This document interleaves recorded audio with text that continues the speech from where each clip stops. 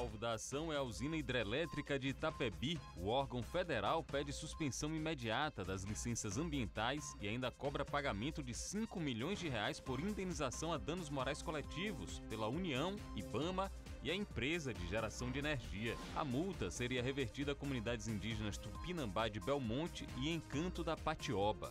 O MPF alega que a suspensão deve durar até uma autorização pelo Congresso Nacional. A empresa informou que ainda não foi notificada da ação.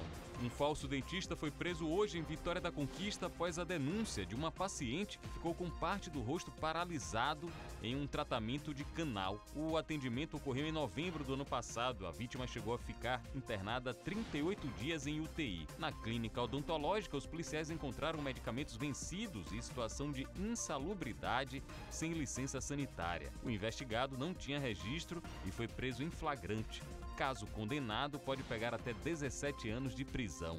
Uma usuária de aplicativo de transporte denunciou um motorista por comportamentos indevidos numa viagem com destino ao bairro da Federação ontem. A passageira estava com a bebê de sete meses no colo e percebeu atitudes de agitação, além de cheiro de maconha no veículo totalmente fechado. A mulher, que preferiu não se identificar, disse que também teve problemas para encerrar a corrida. A plataforma foi contatada pela equipe da Aratu, mas não emitiu resposta. Um idoso morreu no final da manhã de hoje enquanto esperava atendimento para o cadastro único na sede no comércio.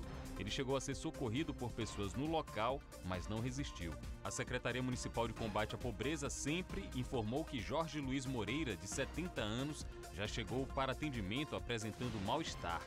A pasta também alegou que técnicos verificaram a situação e conduziram ele para um local reservado.